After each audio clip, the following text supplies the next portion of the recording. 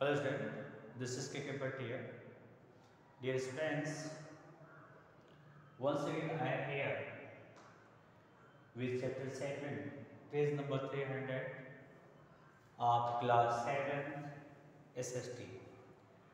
Today I am just going to explain civics and uh, the topic of this of the day understanding gender socio-economic aspect on the basis of social economic aspect uh, through this lesson we understand uh, gender. You know well that uh, male and female two are the main gender and uh, both are necessary to balance the societies. If number of male going to increase and uh, the number of uh, female going to be decreased there may become problem. Because uh, many to grow the society or to maintain the family both gender are necessary to cooperate each other for reproduction as well as other things. We see that uh, nowadays women also play a very important role to the development of our societies. We can't deny her role in the development of societies. See what's here. We are going to read a case study. हम एक case study के बारे में करेंगे और उसके बाद देखेंगे कि what is the topic topic क्या है उसके थ्रू हम अंडरस्टैंड करने की कोशिश करेंगे अब आप देखेंगे here given a case study topic Mansi friend Malita Mansi's friend Malita announced to her friend that she was she was soon going to have a little brother of her own.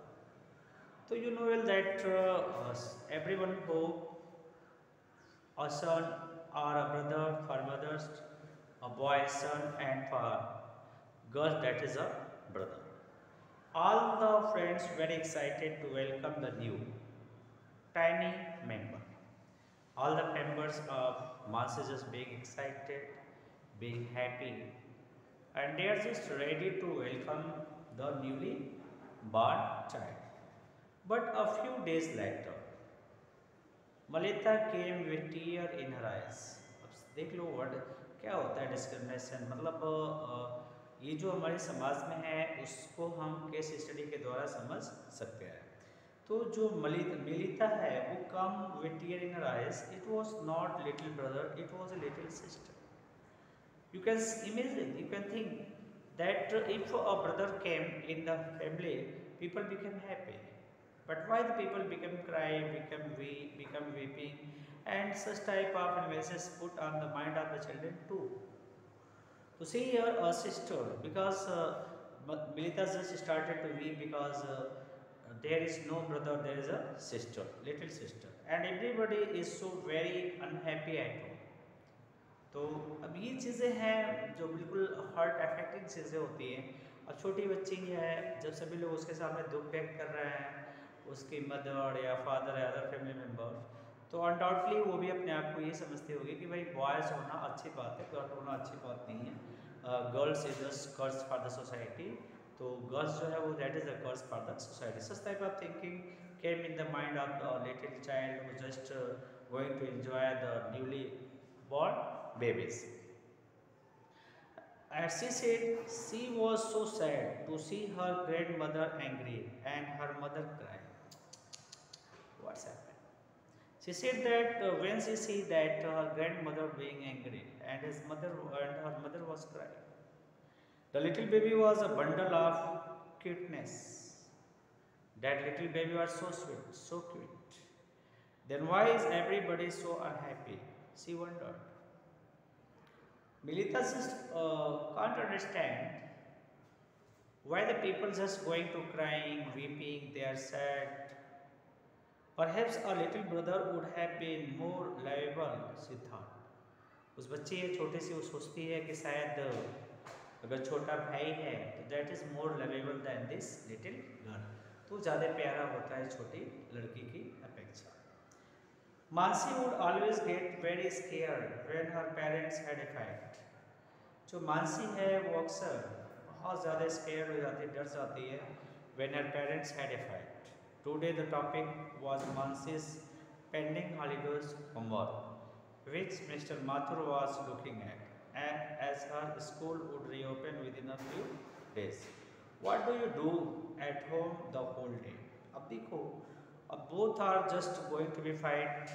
That is why uh, Mansi can't able to complete his work, and also there is uh, extra work has been given to the girl child And uh, the boys just going to move here and there there is no proper burden given on the boys तो वही वो कह रहे हैं कि mister Mathur जब उसके homework को चेक करते हैं तो वो इनकम्प्लीट पाते हैं तो उससे what do you do at the home whole day भी पूरा दिन तुम घर पे क्या करते हो a lot of time in holidays time you have to complete your work a furious mr maru shouted at his wife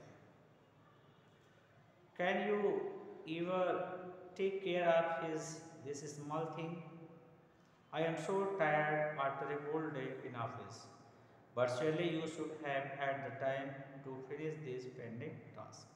आगे वो आते हैं चिल्लाते हैं क्यूरियस चिल्लाते हैं कि भाई मैं तो ऑफ़िस में व्यस्त रहता हूँ तो जो rest of work rest work the rest work अगर day you have to complete He continued, Mrs. Martha was quiet. She, was, she looked guilty.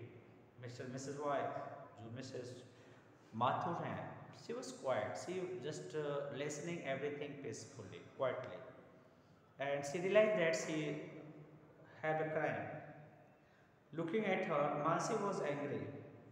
Why can't Mama say that for the past few days she did not get any time because there were so many guests at home? Masi became angry that uh, why her mother just listening everything peacefully. Why why did she not oppose? But it is that uh, she had no time to uh, finish the work because uh, there were many guests to whom she had to serve. Why can't Mama say uh, that for the past few days she did not get any time because there were so many guests at home. After a whole day's work, she would also get equally tired like Papa, if not more.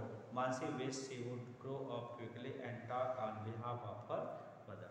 तो अब देखो ये क्या होता है ये सारी चीज़ें जो होती है इरिटेटिंग क्रिएट करती हैं फैमिली में एटमॉस्फेयर को चेंज करती हैं तो being a being a male we have to understand the condition of women to women is not a servant that is not for used they have also equal to us they have also sensibility they have also a time process but in the house they do 18 hours 17 hours continuously except this uh, the male members are not satisfied with her that is the inequality इसको बोलते हैं inequality in the society दो चीज़ें आपने देखा एक तो आपने देखा कि born of baby बच्ची जब पैदा होती है तो घर के लोग खुश क्यों नहीं होते छोटी सी बच्ची है उसके माइंड में बात आती है कि बोला घर के लोग बच्ची को खुश क्यों नहीं होते देख करके?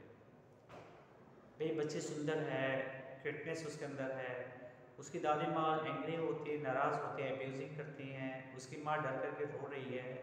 और इवन दैट फिर वो मानसी तो मृतक घर का था। मानसी घर की कंडीशन वो देखते हैं कि जो उसके घर में अक्सर मम्मी पापा फाइट करते रहते हैं और फादर जो है उसको अक्सर टार्चर करते हैं और she never try he never try to understand reality of his family तो आपने देखा, ये जो understanding gender socio economic step ये इस तरह से आज इस लेसन में पढ़ेंगे कि जो जेंडर है, जो मेल और फीमेल है, इनका आपस में सामंजस्य होना बहुत ज़रूरी है। और एक के बिना दूसरा अधूरा है ये भी हमको समझना है। अगर हम सिर्फ़ बॉयज़ की चाहत रखते हैं बॉयज़ भी हमको चाहिए तो फिर फॉर बीइंग मैरिज और reproduction from where we get the girls हम लड़की कहाँ से लाएँगे? आसमान से जाकर तोड़ के तो लाएँगे नहीं। That is need for the society we have to understand the importance of girls too and give the respect as much as you give the respect to your uh, bro or son तो now just we come on the lesson अब lesson पे हम आते हैं आपने देखा किस तरह से एक केस स्टडी आपके सामने रखी गई that is the reality of our societies ये हमारे समाज का बिल्कुल कड़वा सत्य है we have to admit it on any condition, किसी भी कंडीशन पे हमको इस सच्चाई को एक्सेप्ट करना है। अब आगे देखेंगे how many of you have seen और experience similar situation at your own or your relative or neighbours home this is this incident so that man and women do not really have equal status in the society gender in exist in a big way In this sector, we will understand the meaning of gender inequality, learn about its social and economic aspect. So, just uh, here, just writer just put a question that uh, such type of condition we can see everywhere. हर जगह इस तरह की condition हम देख सकते हैं. People just going to fight with each other, and there is discrimination between male and female. Uh, uh, male just being dominant over the women that is why such type of condition create among the societies. तो ये जो gender equality है, ये अच्छी चीज़ नहीं है, ये समता होना चाहिए।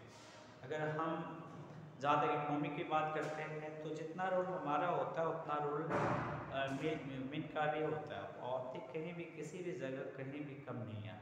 जो कर्सेस सोशल जो कर्सेस हैं, उसके अगेंस्ट हमको खड़ा होना है। We have to we have to stand so all many abuses those just going to destroy the society तो अगर हम जेंडर इक्वलिटी की बात करते हैं तो we have to understand the reality in fact of this अब हम बात करते हैं व्हाट इज़ जेंडर और what is the gender inequality gender क्या होता है और जेंडर इनइक्वलिटी क्या होती है? इस पर हम लोग बात करते हैं। देखिए, आपकी बुक में दिया है we are know that men and women are different biologically and have different physical feature The society also expect men and women to behave in a specific, way. Gender in pattern of behavior expected from boys and girls that is determined by the society. Gender assign particular role to men and women and uh, also dictates the way in which men and women will be treated in the societies. Do, with changing time, gender roles also change. तो ये कह रहे हैं कि ऐसा नहीं है कि जो चीज़ें हैं वो आज हैं। हिस्ट्री में भी अगर आप देखेंगे तो there is many discrimination create among both बहुत एंशियंट टाइम में जाएँगे तो हम कुछ इक्वलिटी की बात करते हैं, वहाँ कुछ समानता हमको मिलता है। लेकिन मीडियल हिस्ट्री में आप देखेंगे तो देर इज़ मेजर बहुत ही भयानक कंडीशन रही है। और आज भी अगर हम देखते हैं सोसाइटी में because of dowry dowry system जो डाउरी सिस्टम में जो दहेज प्रथा जो एक राक्षस आप कह सकते हो, डेविल है सोसाइटी के लिए, जो समाज को बिल्कुल नाश करने पर लगा हुआ है। तो वो जो है एक माँ बाप को कहीं कहीं कमज़ोर करता है। तो जिसके कारण they do not like to grow to born a baby child they like to born a boy because because there are many borders people think about that तो जेंडर जो ये टाइम टू टाइम चेंज होता रहता है अब आप, देखेंगे तो अगर आज के 50 साल पहले की अगर हम बात करते हैं और आज की बात करते हैं तो ये found differentiation between those time आज बहुत ज़्यादा डिफरेंस मिलता है। आज today we give the chance a girls to read develop herself they uh, so uh, girls just play a very good role in our societies as well as economic structure. बहुत सारे लड़के आज good job they get good job they become doctor they become IAS they become politician they became doctor uh, uh, they also joined the armies uh, they went to the railways so we can say that we can say like that women are not backed of men they are the, they now they they are just leading the societies now they are just leading the society we have to understand the importance of women we give the equal right to the girls as well as the boys, girls girls, boys ठीक है? तो इस तरह से अगर हम थोड़ा सा जेंडर इक्वलिटी क्या होती है? असमानता जैसे भेदभाव आप करते हो, ठीक है? समाज में रहते हो, लड़के को इम्पोर्टेंस देते हो, लड़की को इम्पोर्टेंस ये गलत चीज़ है। We have to understand the importance of both ठीक है? हमें अंडरस्टैंड करना होगा और इक्वलिटी को दूर करने की कोशिश करना चाहिए प्रॉपर हमको और फॉर्म प्लेटफॉर्म देना चाहिए, ताकि दोनों प्रॉपर वे में डेवलप सर समाज को चलाने के लिए और इकोनॉमिक कंडीशन को मेंटेन करने के लिए दोनों का योगदान बहुत इम्पोर्टेंट है। तो okay today that is all I hope you like this video you understand the topic what I am going to teach if you like it you just subscribe and share in your thanks once